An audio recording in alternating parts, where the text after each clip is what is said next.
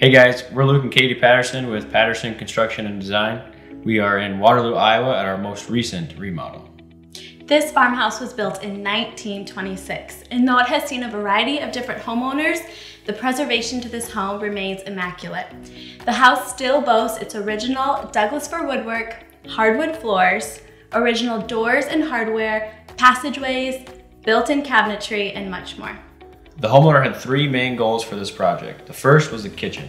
They enjoy hosting guests and wanted to have a expanded kitchen space. The second was a mudroom.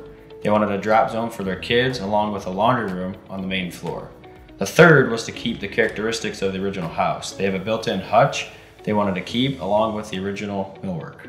The remodel consists of a 10 foot by 28 foot addition off of the south side of the house. The addition included a kitchen, laundry room, and half bath.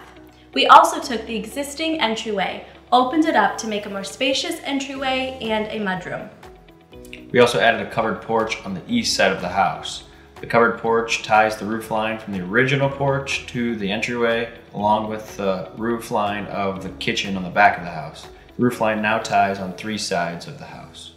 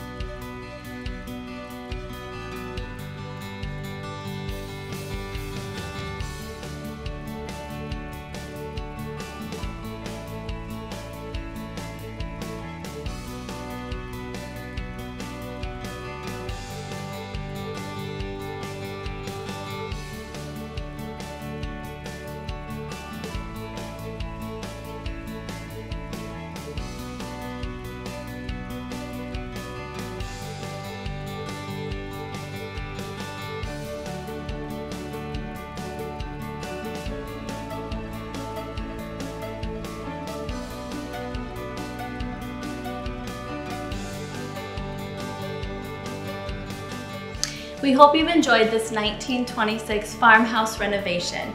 We want to especially thank our homeowners and all of our subcontractors for making this vision become a reality.